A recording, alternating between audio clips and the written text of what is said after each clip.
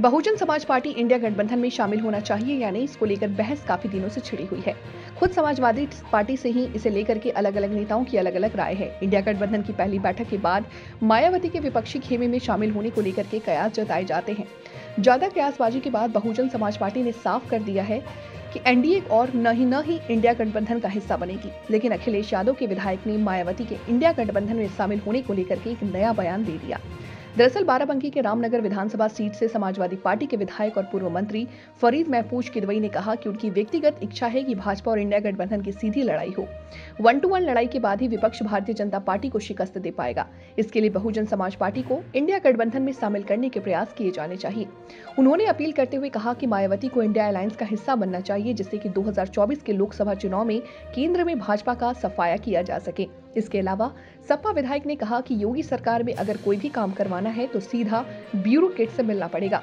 क्योंकि भाजपा सरकार का कोई भी मंत्री और नेता कोई भी काम नहीं करवा सकते, लेकिन अधिकारी ने अगर चाह लिया तो वो कोई भी काम करवा सकते हैं। और ठेका भी हो गया था। अब ठेके उसके लिए एक मानक है इनका कि तीस लाख रुपये तक की अगर कोई चीज़ है तो तो जिला पंचायत से उसका पेमेंट हो जाएगा जिला पंचायत उसको मंजूरी दे देगी। तो जो नाला बना जो तो जो नाला वो हुआ उसका उसकी कास्ट आ गई बत्तीस लाख रुपया। बत्तीस लाख नाला कहाँ का है? रामपुर कटरा। रामपुर कटरा। तो बत्तीस दो दो साल दो लाख ज़्यादा हो गया तो वो कानून के हिसाब से उसको मंजूरी की कि यहाँ से उसका अप्रूवल होना था भाई साहब गए चार महीने।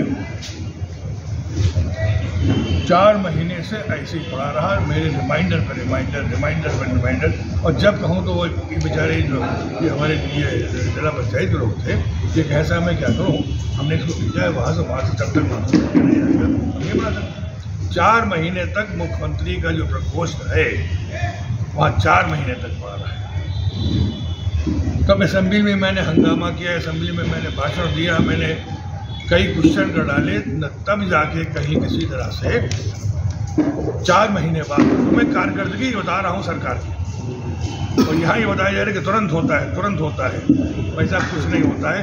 और वो भी जब मैंने इतना किया इतना झगड़ा किया छोटी छोटी मिसालें दे रहा हूँ आपको। आपको बताना नहीं नहीं, मुख्यमंत्री क्या तीस लाख रुपए तक का तो यहाँ से हो सकता था, बदकस्मती से दो लाख बढ़ गया। तो अब वो दो लाख का जो बत्तीस लाख हो गया तो फिर वो मुख्यमंत्री के प्रपोज से होना था और वो वहाँ भेजा गया और चार महीने से पड़ा हुआ था। तो जब कुछ नहीं हुआ तो मैंने असेंबली में हल्ला मचाया। क्वेश्चन भी किया हल्ला में उठाया सब कुछ किया बहरहाल वो मंजूर होके आया है। आया है तो अब उसका दूसरा मामला है कि वो डिफेक्टिव अब भी है वो कम बना है कम है चौड़ा है लेकिन वो दूसरी चीज़ है। अब एक वाक्य और बता दूँ अपने क्षेत्र का। ये सब बता रहा हूँ कि किस तरह ये जो ये क्लेम करते हैं कि हम साहब बड़े एक्टिव हैं फ़ौरन तुरंत कार्रवाई और तुरंत ये और तुरंत वो। हमारे यहाँ एक गाँव है बतनेरा बतनेरा में सूरजगंज ब्लॉक है। वहाँ सात शौचालय बनाए गए। जो मंजूर हुए सरकार से, शौचालय बने।